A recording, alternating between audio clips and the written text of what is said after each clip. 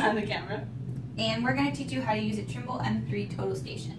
You need safety vests, a tape measure, a tripod, a bipod, a reflector, walkie-talkies if you want them, and the total station itself. So I'm going to show you how to set up a tripod for the Trimble.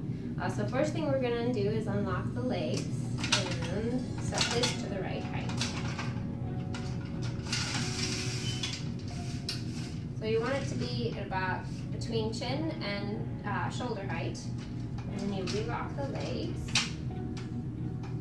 And then we're going to set up the legs. So you want to find, for one of the legs, you want to find a point in the ground where it'll sort of stick, like a crack or something like that. And so then you set up the other two legs, not too far apart, and you're going to use these two legs, these back two legs, to level the tripod. So we're going to put the Trimble on the tripod. So first thing, you've got to get the plates lined up so that these are parallel. And then down here is a screw that you're going to use to screw into the Trimble's base. And it sort of helps sometimes sort of lift up a little bit to check and see where your center's at so you can get it in there.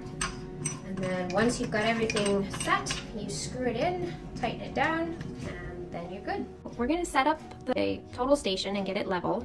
Uh, now that it's on the tripod, we're gonna first we're gonna turn it on, and you do that by hitting this green button here. And once it's turned on and ready to go, we're gonna go into General Survey, and then into Instrument, and then to Electronic Level. Alright, so uh, the level shoots a laser at the ground, so we want to set our laser in the center bubble there. And to do that, you keep the legs locked, and you're going to move these legs forward or backward to get your bubble on the center. And remember, this is your station leg, it doesn't move. Alright, that's close enough. Once you've got the laser on your point on the ground, now we're going to get the, the system level. So the um, computer here has a, a, very detailed level, but we're just going to use this for um, the precise leveling uh, towards the end because this is really finicky and it, it, it, takes a while to update. So there are two different options. Uh, one, there is also a little computer level here to tell you uh, where you're at as far as the bubble goes. And then we also just have an old-fashioned bubble here under the system. So we'll use, um, we'll use the system here. Now, first thing we're gonna do is we're going to get this as close to center as possible, just using the legs. Um, that way you've got um, more wiggle room later when you're doing uh, the fine tuning. So if you're not really good at it yet, I would recommend starting with one leg um, and then lock it and go to the other one. So we need to move this up a little bit without moving this total station. All right, and we're gonna go this way, pull the other leg a little bit. Uh, using the legs, we've got the bubble in the center of our level here. Uh, we're gonna turn this around, and we're gonna look at the computer screen to get a more precise level. You use these knobs. This, this one here is the horizontal, vertical, and this one here is the horizontal. So we're gonna move these to get our system level. We finished adjusting the level. You know when it's level when all of the three bubbles are in the green. So now that we're level, we're gonna hit accept and move on to the next thing. All right, so now that we have our total station set up and leveled, we're gonna get some information uh, to input into the system. Uh, so the first thing is we need the height of the total station from the ground to this little um, crosshairs here. So we're gonna get that height and we're going to record it for putting it into the total station. Now we need to set up our bipod and reflector. The first step that you need to do is make sure that your reflector is secured into a crack or something that will not move. Then you take the other two legs and you set them out and you use the buttons on top to push and move the legs, leveling them using the bubble level. Once your reflector is nice and leveled, you need to set the height of your reflector to make sure that it is in line and visible from your total station.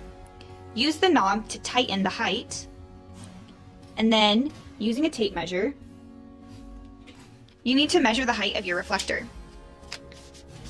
Measuring from the ground nearest to the center post all the way to the center of the reflector as indicated by the arrow. Record this number to the nearest one hundredths of a foot. Now that we have the height of our um, total station and the reflector, we're going to put input that information into the total station. So we're going to go to Instrument, Survey Basic, and we're going to set, uh, you'll need to check on the local weather and check for the pressure and the temperature. Um, and today it's a balmy 60 degrees and 33, 30 inches of um, mercury.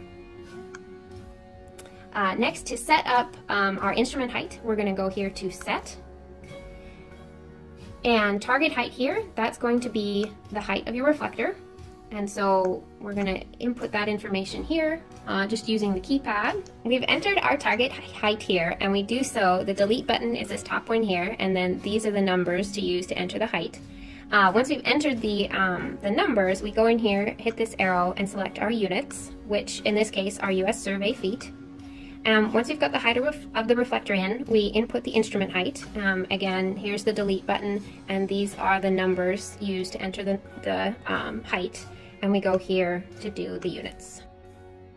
And then hit accept.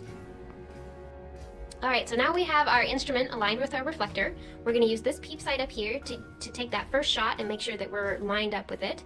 And then once you've got it in your sights there, we're going to move down to the instrument's um, sight here this can be uh, focused, the image itself, using the top um, wheel here to focus the image, and then this one here focuses the crosshairs that are in the uh, in the, the viewfinder. So once you've got the crosshairs focused and everything's crystal clear, you use these two knobs to move the crosshairs horizontally and vertically to get them exactly center on the reflector. Now we're going to take a measurement. Uh, first, we're going to zero our system so that our horizontal angle goes to zero and that's close enough to zero. Now we're going to hit measure.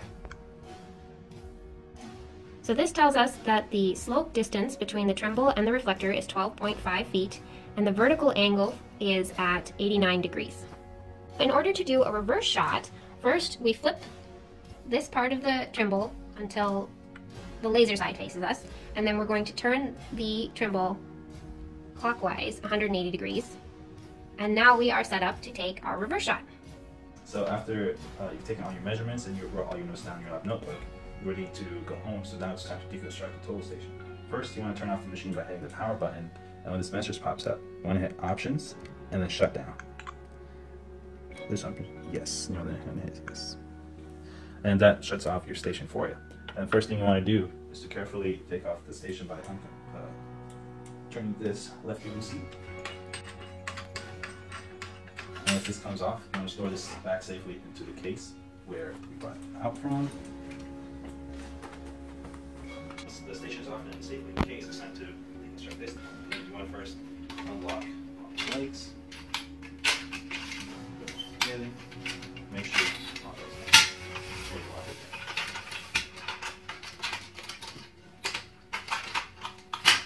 That's how you deconstruct the tripod. When you're ready to bipod, to first put this down by unscrewing this uh, screw right here. A little bit looser, carefully sliding it down, and you want to tighten it back up so it doesn't uh, pop back out again. And then you want to uh, bring your two legs together for the bipod. You're going to hit these buttons here to make sure they're exactly the same level. And there you go, now they're all the same level, it's all secure and tight. You can carry safely back to the lab.